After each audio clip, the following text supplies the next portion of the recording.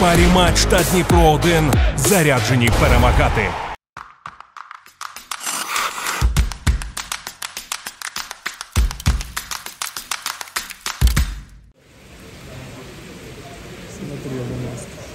Якщо не можеш змінити ситуацію, зміни своє ставлення до неї.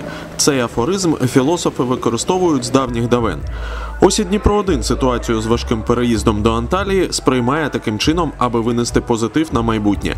Перший день тренувань миттєво скоригували, і після відпочинку команда у доброму гуморі пішла розігріватися до тренажерної зали.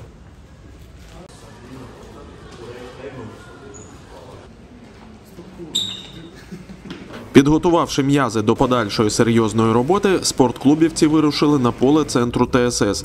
Заняття там було нетривалим. За мету мали активуватись після подорожі.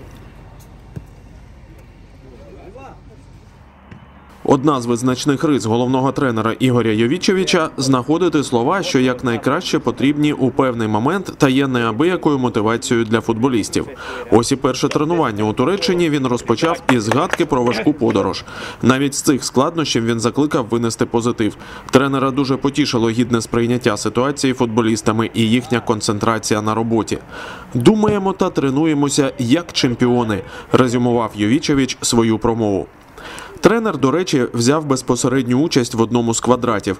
Вправа, яка і без того завжди викликає різнобарні емоції у гравців, за присутності головного тренера набула додаткової родзинки.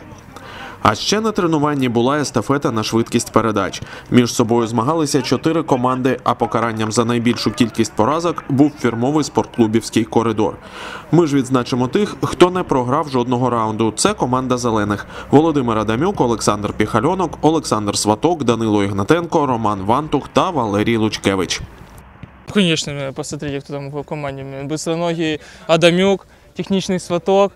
Ну, еще пару ребят, ну, пиха, конечно, чуть-чуть не дотягивался на там, но самое главное, нет, так хорошо, было, такая встряхивающая тренировка, и и работаем дальше. Все отлично, это это хорошее настроение. Ну, конечно, это было неприятно добираться сюда не так, как запланировали.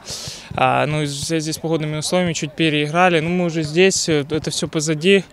Так что работаем в том же режиме, который мы планировали. Завтра, 25 січня, у нашої команди заплановані два тренування.